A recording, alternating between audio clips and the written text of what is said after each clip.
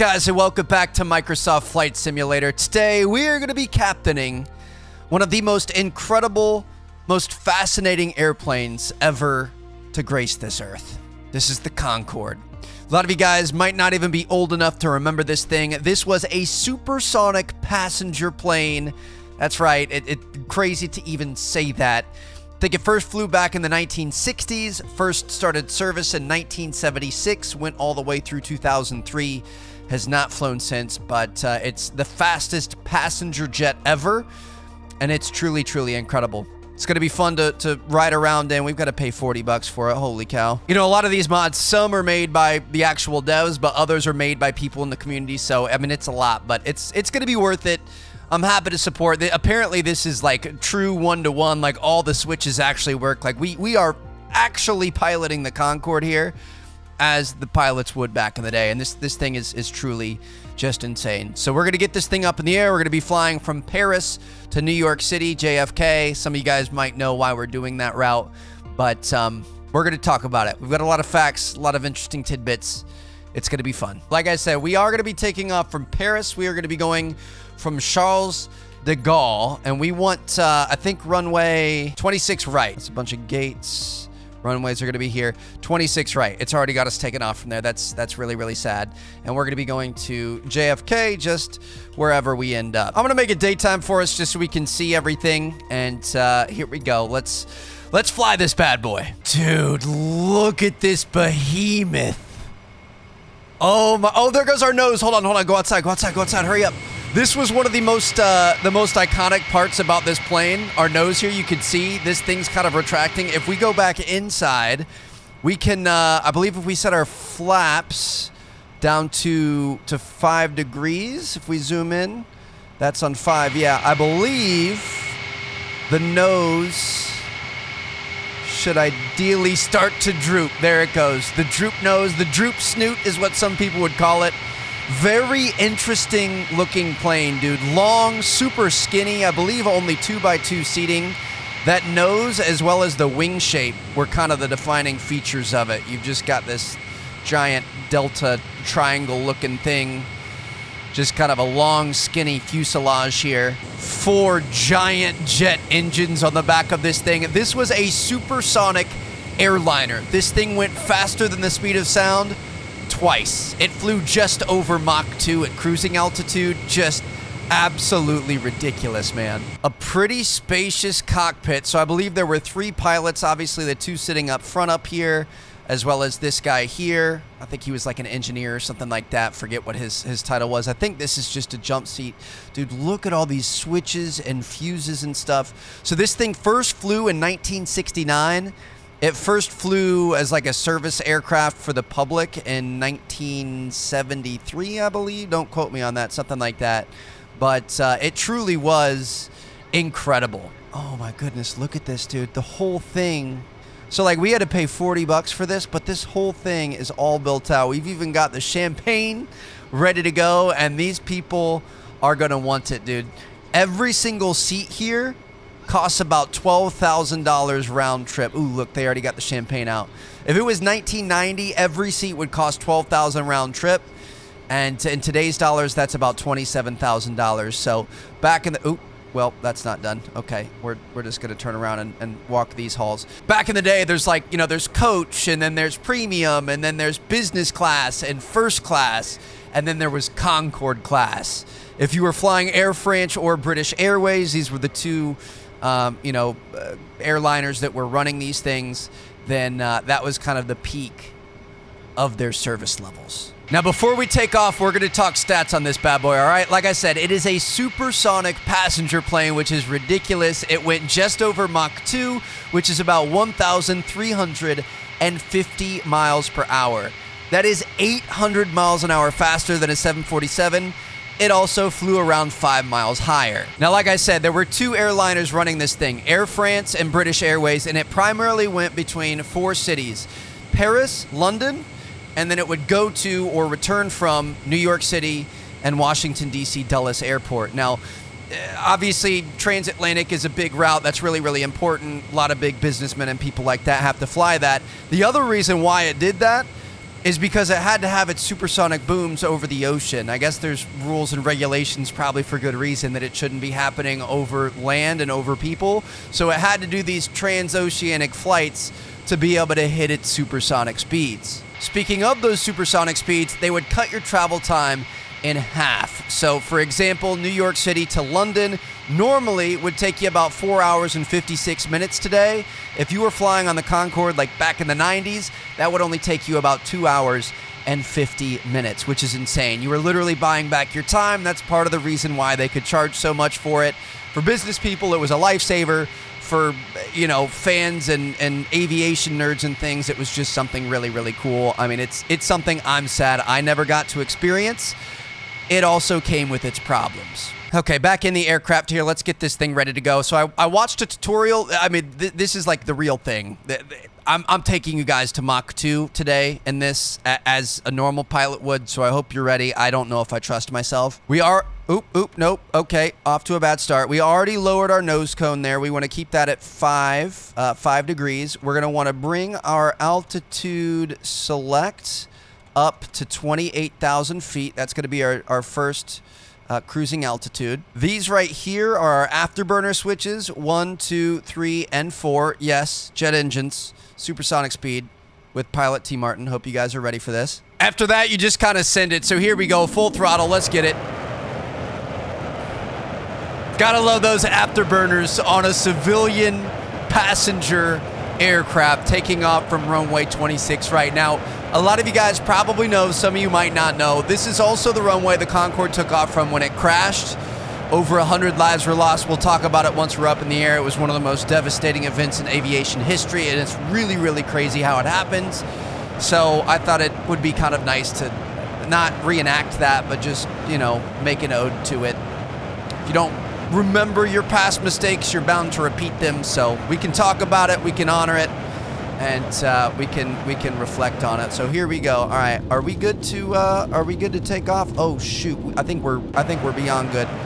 Wow, look at this thing go. I think we might be a little bit heavy on our uh, on our altitude or our, our pitch here, but we're gonna be fine. All right, so what we're gonna do is we are gonna raise the uh, the landing gear. Landing gear coming up there, beautiful. I don't know why, but sometimes when I hit my landing gear, it turns off our throttle. So we've got that. At 250 knots, ooh, our nose is already coming up automatically, that's good. Uh, are we at 250? We're above 250. We're gonna turn off our afterburners. Let's save some fuel here. We are going to bring our nose up. Our nose is already in the up position. We are gonna hit uh, Flight Director 1, Autopilot 1, and the INS switch to switch to LNAV mode. We're also going to come over here. We're going to say max climb and uh, forget which one. Um, I saw a handbook back here somewhere. Do you think I could... Oh, the workshop manual. Let me read this real quick. Altitude acquire is what we need. Oh, oh, nope. Keep the nose up. Keep the nose up. Okay, beautiful. All right, so now we should be climbing to our initial cruising altitude of 20 8,000 feet, which is already pretty insane. Look at this. Look at Paris in the background, eh? What beautiful country. Dude, this is insane. Look at these giant... These engines were made by Rolls-Royce, by the way. Kind of crazy, right? Look at these giant things. This, I mean... It's kind of ugly when the droop nose is down and stuff, but it's also one of the most beautiful airplanes I have ever seen in my entire life. Just look at how cool this thing looks, dude. I mean, it is it is a very interesting shape, without a doubt. But it's pretty cool. Just rocketing up into the sky like nothing we have ever seen before. This this is amazing. All right, so we're gonna go back inside here. Notice how our, our nose cone, which was down to help us for visibility during taxi and stuff, is now up. So now we're gonna have a lot better aerodynamics, and that's gonna help us get up to our uh, our speeds that we want. We are currently at about, uh, I don't know, 395, something like that. 390? 390 it looks like. Hopefully we're going to be able to keep going up. There's our Mach. We're at about Mach 0.75 and we're trying to get up to 28,000 feet. So we're just gonna we're gonna chill out here for a second. I guess we could kind of start talking about this crash. All right, so Very, very sad. Uh, happened back in 2000. July 25th, 2000, literally the exact same scenario that we just had. Nice, clear day, nothing wrong in the skies. Aircraft seemed all right, taking off from runway 26 right, same place, going to JFK. Full group of people on board, 100 passengers, three pilots, and six flight attendants. 109 people total on board. There was a flight that took off about five minutes before the Concorde did, and that, that airplane dropped a small metal, like, long, skinny piece of metal, like a little piece of shrapnel or a little piece of debris, and that was sitting on the runway. And obviously, you're not going to be able to see that. Now, I think since then, a lot of airports will do like runway sweeps and stuff after takeoffs or multiple times per day to try to scout this stuff out and try to see it before the you know bad things happen. But uh, unfortunately for this Concorde flight, they did not see that, and uh, it ran over this shrapnel. The tires exploded, and the shrapnel from the tires, like the little pieces of rubber, blasted up into the wing. Now you guys can see these are the wings here. I think it hit like somewhere in here. Obviously these are major fuel tanks and it didn't exactly like rupture right through it, but the force of it kind of caused the liquid on the inside or the fuel on the inside to move around and it ruptured and we'll talk about why in a second because there was kind of a bit of a mistake. But basically it ruptured the fuel tank, fuel started coming out, caught on fire, the engine started failing, and about two minutes into the flight, they lost their thrust. They, they didn't have enough speed to be able to stay up.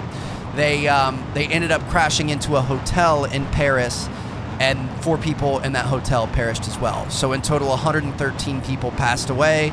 And like I said, I mean, it was it was one of the most catastrophic events in aviation history. Let me check on our uh, our situation here. We're at about Mach 1. We might be popping through the uh, the sound barrier here, we're also getting close to 28,000 feet. So as soon as we get there, we should level out and then we're to have some more piloting to do. I got to admit, dude, this, for a supersonic plane, I feel like our visibility is insane. Look at this. I feel like pilots never have nice windows. We've got like a Millennium Falcon looking thing here. We've got a giant window to the left. We've got a giant one left of that. We've got two giant ones over on her side. This is epic. Got a lot of room to move around and stretch your legs and things. This is nice. All right, so we are approaching 28,000 feet. I hope we stay there. We're above Mach. I didn't hear any sort of a sound barrier break or anything. You won't hear it on the inside. 28,000. There she is right there. Okay, so now let me consult my, my handbook back over here. We could also just take a, a moment to appreciate this. Just cruising at 28,000 feet. Oh, oh. In front of it, it's silent because we're ahead of the speed of sound. There's the sound barrier break. Okay, that's what I was hoping for. Wow. Oh, no, no, no. What? What? Okay, uh, we, we, Something's going wrong and I'm not sure what. Okay, we need auto throttle on. We want Mach hold on. We want to set this bad boy to 60,000 feet. Come on, I, I don't I don't know what what thing is going off. 60,000 feet's our maximum altitude. Are we losing altitude or anything? I think we're good. Do I need to freak out? I don't think we need to freak out. Okay, it's over. That scared me. Max climb, altitude acquire, AT1 off. Afterburners are to have to go on. One, two, three, four. I love clicking all these buttons, dude. Oh, there we go. All right, we are we are back after it. So he's going up again. Our Mach numbers should be going up. We want to end up around here. Oh my goodness, dude. It's so quiet outside. Look at like, just think of the engineering required for something like this. To be traveling at this speed. That is just insanity, dude. I'm kind of lost for words here. This is so cool. All right, back inside. I hope our Mach starts climbing.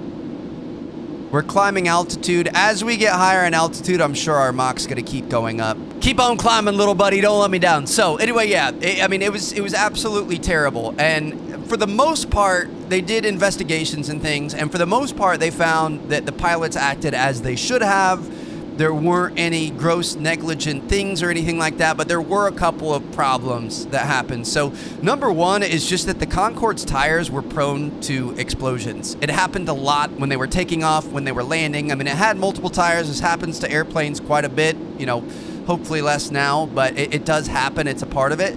It's just for whatever reason, because of the speeds and the temperatures and things like that that the Concorde was was moving at, especially when it was taking off and landing eh, the tires just weren't, weren't really good enough, and it, it's probably something that should have been looked into long before this event happened. Obviously, the debris on the ground, that was another thing that probably should have been looked into. It wasn't really protocol at that time. It's more common for them to do airport sweeps and runway sweeps and things like that now it's also just kind of a freak accident. Like there's no way you can predict that. Like this this piece literally fell off the airplane as it was taking off like five minutes beforehand. Like that's some final destination type stuff.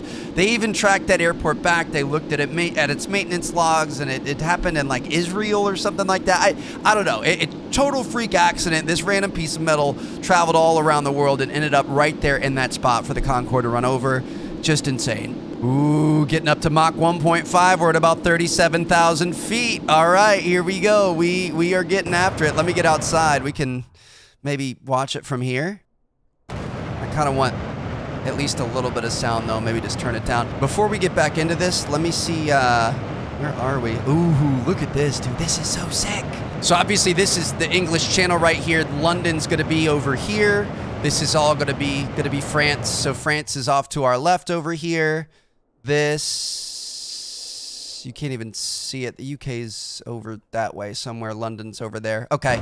Anyway, yeah. So we what do we have here? We've got. Um, let me. I like having the engine noise at least. Get out in front of it. See some some land over here and have the, the engine noise. So we've got um, you know tires that probably should have been looked into. We've got a freak piece of debris that's traveled around the world and just happened to get run over. Obvious ter terrible timing. That's that's it, right? That's what happened.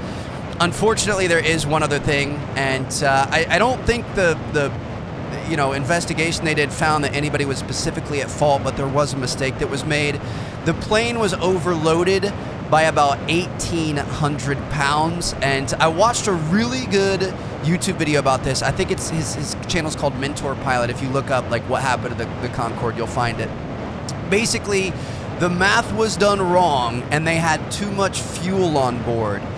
They thought they were going to burn more fuel during their taxi than they actually did. So the fuel tanks were overloaded. The jet was a little bit too heavy, which, you know, obviously it didn't have enough speed. It couldn't, you know, take off properly. So if it was lighter, it could have potentially maybe been able to save it, although they don't think that could have happened.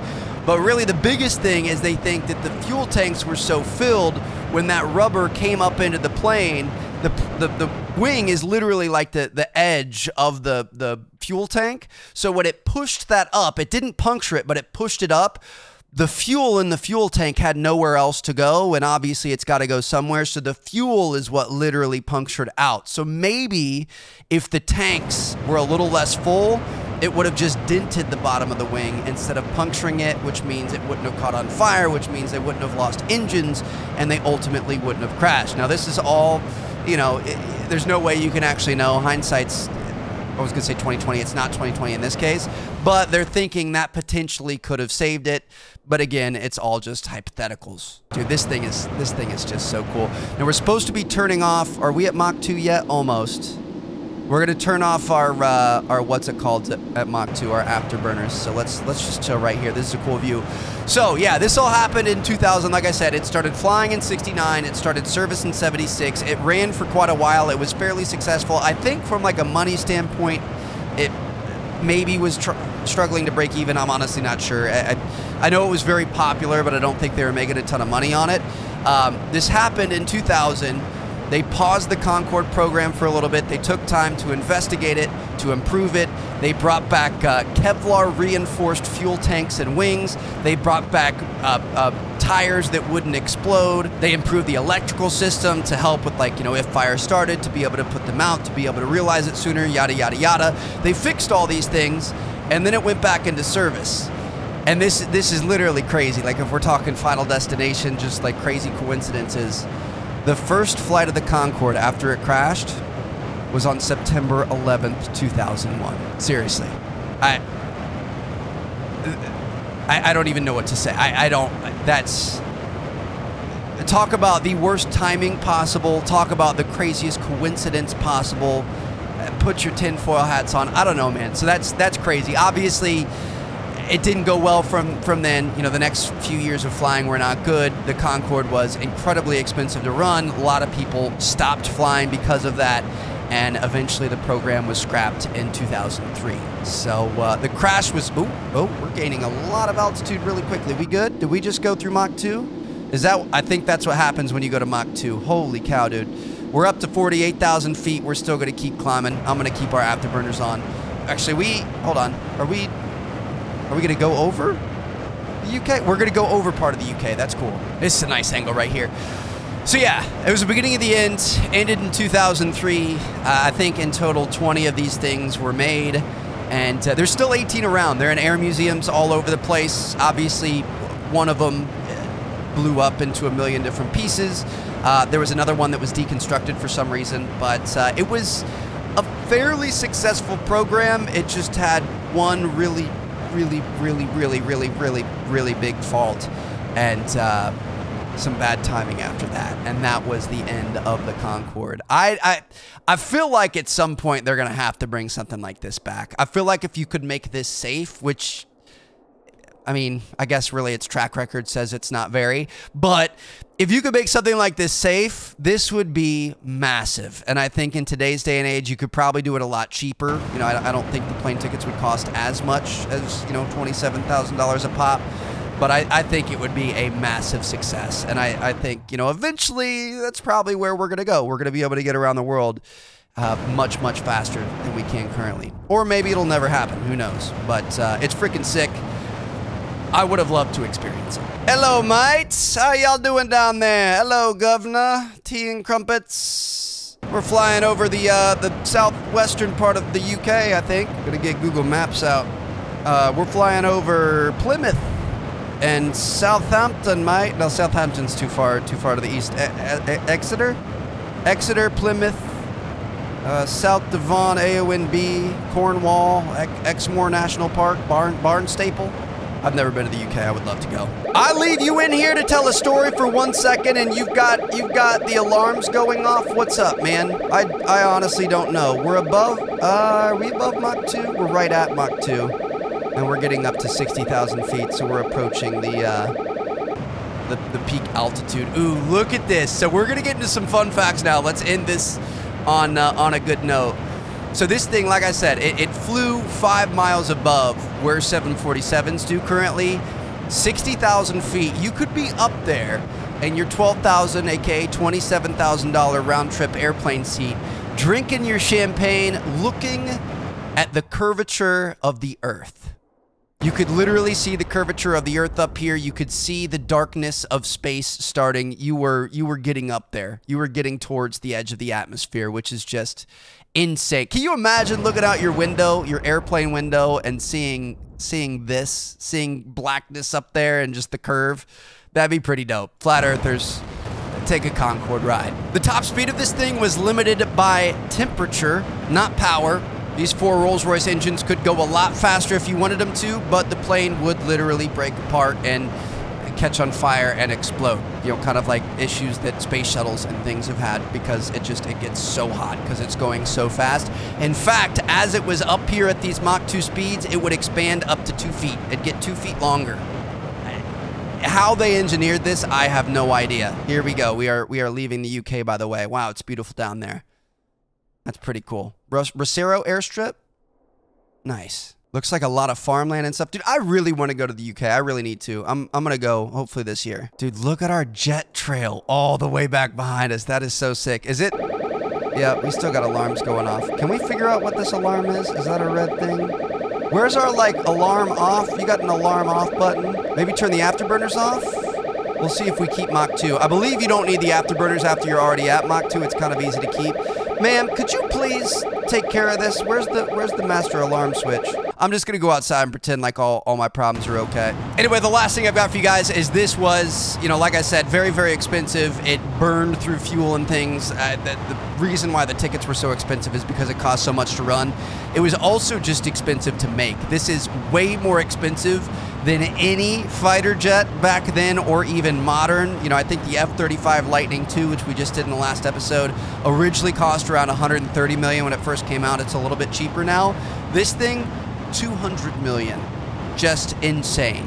And um, I, to be honest, I'm just infatuated by it. I, I, I just uh, peak interest, peak. Uh, I just, I don't even know how this thing was possible this giant tube floating through the sky at 14,000 miles per hour. It's just in, insane. I, I, don't I don't know how this ever existed, and it's it's pretty dang cool that it did. So, hope you guys enjoyed this video. Thank you guys so much for watching. Um, I'm not really planning on sticking around three hours till we get to New York City. You know what? We, we could at least land it. Not even gonna front with you. Okay, we have even more issues. Um, is our landing gear down? Yeah, I'm not gonna front with you guys. I'm I'm just gonna I'm just gonna attempt to land this. I mean, can I trim down? Maybe a little less speed. I'm just gonna attempt to land this as we as we get you know close to the airport. Are we are we coming straight on? I believe. Yeah. I, am just I'm gonna land at that big big strip right there. One uh, another fun fact that I wasn't gonna include, but now that we're attempting the landing, what you see back here in the back this is actually a, a new landing gear. So the, the approach angle of the Concorde, let me make sure that we don't go nosediving into the city. The approach angle, the, the glide slope was so uh, steep and it, it, had to land at such a crazy angle that it, um, it, it, it needed that extra wheel in the back to not, you know, tail strike when it was landing. So this this should be really interesting. I have no idea how fast we have to go to keep this thing airborne. We also definitely want to slow it down so that we don't overshoot the runway. I don't know if it's got air brakes. I don't know how to activate said air brakes if it does. So uh, thank you guys so much for joining me on this beautiful flight from sunny Paris over to New York City today. It was my pleasure to be serving you for the past three hours at supersonic speeds. Make sure to uh, tip your flight attendants on the way out. I know you're a bunch of rich, rich people back there with your $12,000 seats back here in 1990. You know how many Tamagotchis I could buy with that, man? Come on now. All right. I, I think we're probably coming in a little bit too hot. Maybe not. We'll see. The visibility in this thing's actually pretty good, and that's kind of crazy because that, that nose drops so much. Here we go. Here we go. Alright. I pretty much... I'm hoping we have enough enough glide in us to make it. I'm hoping. I'm just going to try to land on the closest edge of the runway possible. Oh yeah, we made it. That wasn't bad.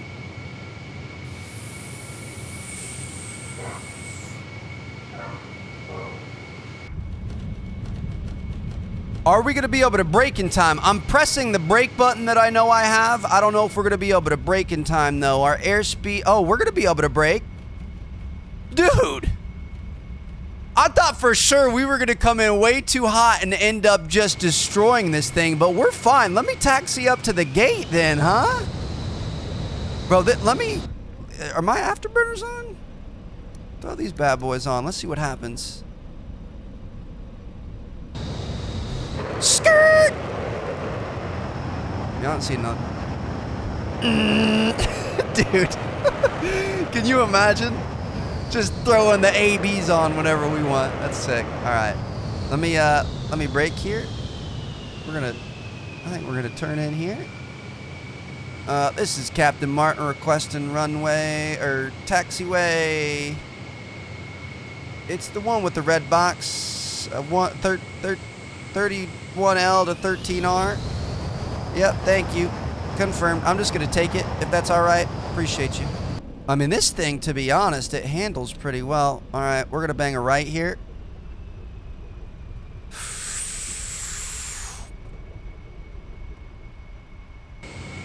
Hit the fence a little bit. Oh, fence kind of went up. I mean, we took a fence out. That's all right, though. All right, this is going to be our jet bridge here. I hope you guys enjoyed your flight. Just gonna go ahead and pull this thing on in. Maybe give it a little a little bit of gas. Sorry, it's my first day on the job. First first time flying here. All right. There it is. Like a glove. So there you guys have it. Hope you guys enjoyed. I'm going to see you guys in our next one. Let me know what you guys want us to fly next. Definitely going to check out some more fighter jets and stuff, but stuff like this, dude. This this might be the most fun I've had gaming in a very long time. Look at this, dude. We literally just landed a Concorde at JFK. The trip it was never able to make. Anyway, I'll see you guys later. Thanks for watching. Peace out.